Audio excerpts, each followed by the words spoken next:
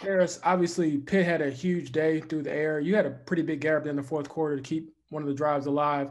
Um, how do you, in that wide receiver group, help him out? Um, I think the room is very versatile um, from top to bottom.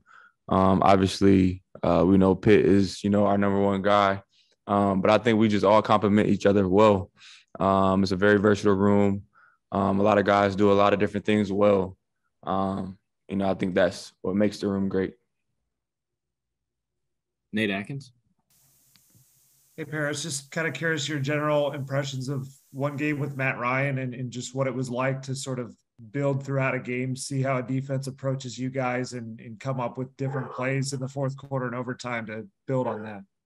Yeah. Um, shoot, what I could take from week one just with Matt is uh, how poised he was throughout the entire game. Um, you know, no matter what the situation was, you know, obviously we got down big in the third quarter. Um, but he was just poised, you know, the whole game. Even, you know, in the first half when things wasn't really going our way and we had a slow start, um, he was just poised. You know, he brought that leadership to the sideline, you know, rallying the guys, you know, telling us to just take a deep breath and stay the course and take it a play at a time. Um, you know, once the time came where, you know, we we got on a roll, you know, I think that was just all stemmed from him just being so poised and kind of leading us and showing us the way. And just as a quick follow up, I mean, I, we heard a lot about sort of the poise and, and the energy on the sideline, but when you're out there on the field with him, did you did you kind of notice, you know, his experience level, the things he's seen in the in the league over time? Was he able to make some adjustments based on what the defense was doing to you guys, like at the line before the snap? Yeah, absolutely. Um, you know, especially in those those two minute situations. Um, you know, obviously we had the one at halftime and then the one uh, at the end of the game, but Matt's just he's always dialed in. Um, and you know, him being able to see the game the way he sees it helps us out a lot. Um, you know, he sees stuff that the defense is doing before they even do it. Um, you know, he, he's all about, you know, just getting the ball out as quickly as possible. Um, you know, I think over the course of the game, you know, we kind of seen their zones and you know how they were playing us, and he was just able to adjust and see them that much faster and get the ball out that much faster. So uh, I think that that kind of got us in a rhythm.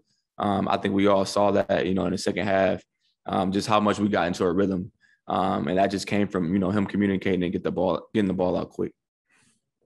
Go two more here, James Boyd. Parris, um, one, was it a sigh of relief just to play again and, and be back out there on the field? And then two, um, how much more do you expect from yourself as the season goes on, as you get more comfortable with Matt Ryan and just get more plays and stuff out there? Uh, yeah. Uh, to your first question, yeah, absolutely. Um, you know, it was just good to be out there. Um, and one thing, uh, you know, that just felt different for me from previous years is that, um, you know, I was just at a peace, like from the start of the game throughout the game. Like I, I was just having fun, um, and it just felt normal again. It just felt back to ball. Um, I wasn't stressing, and I just had like this overwhelming peace um, even before the game. So it was just good to be back out there. Yes, um, and two, um, I just you know I just want to be able to show up each and every game and you know be reliable for my team when my numbers call, make the play. Um, you know, blocking the run game, um, do what the team needs of me. You know, I just, you know, I just want to be that reliable guy, and um, I, I want to be the reliable guy I know I can be, and um, you know, I want to be there throughout the course of the season. Last one here, Bob Kravitz. Yeah, Parris, I'm curious what your emotions were on the flight home, and and and the team's emotions.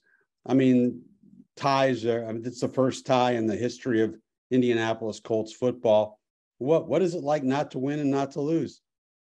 Yeah, um, shoot, it's an emotional roller coaster. Um, you know, you really don't. At first, you really don't know how to feel. Um, you know, it's it's weird. I, I'll say that, but it's also it's also kind of a sour feeling because you know throughout the week you prep to go win, and um, you know you, you think about nothing else but winning. Um, you know, so when you don't get that result of winning, uh, it's definitely a sour feeling. Um, but but it, it wasn't all sour just because uh, we know it was some positives in that game, and it's we know that it's some positive stuff that we can build on, and obviously the negative stuff we need to improve and get better at. But uh, we definitely took some positives away from the game, and um, you know I think we'll carry that on and and build on that throughout the season.